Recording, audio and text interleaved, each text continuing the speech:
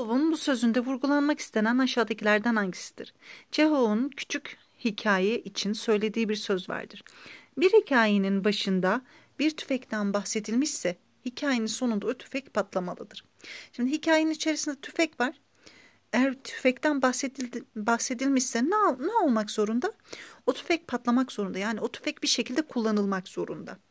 Kullanılmıyorsa işe yaramak zorunda. O zaman bize bunu destekleyen şıkkı bulacağız. İlk şıkkımız olan hikayedeki nesnelerin işlevselliği ifadesi bize bunu sağlıyor. Yani kullanılması gerekir anlamında olduğu için A şıkkı.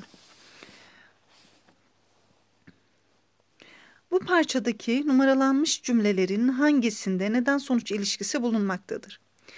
Bir kitabı iki kez okumak iki ayrı kitap okumaktan farklı değildir. İlk okuyuştaki siz ve yaşamınız ikinci okuyuşunuzdaki okuyuşunuzdaki yaşamınızdan ve sizden son derece farklıdır.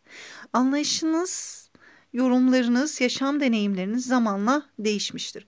Olayları daha derinden kavrar, yüzeysellikten uzaklaşırsınız.